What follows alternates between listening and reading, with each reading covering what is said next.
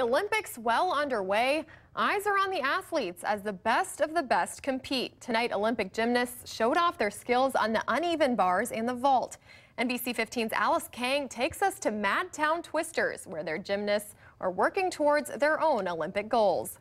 Caitlin Roundy is practicing her floor routine for the 2016 Olympics at Madtown Twisters. I like doing all the flips and I like beam and floor and vault.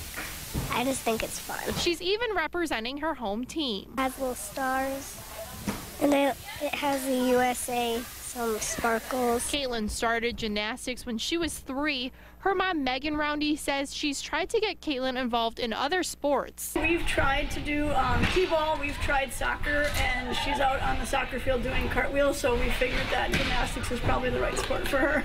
Caitlin says watching her favorite gymnasts on TV, Gabby, Allie, and uh, Simone, inspires her to one day go to the Olympics. But at such a young age, her mom says it's not about making it to the world's biggest stage. Well, every time I pick her up from class, I'm like, did you have fun? That's the, my main goal for her. If she does great, that's awesome, but just to have fun right now. Sarah Nelson is a coach at Madtown Twisters. She says it's all about the Olympics at home and at work. We've taken pictures of the girls uh, lined up spelling Team USA and making the Olympic rings.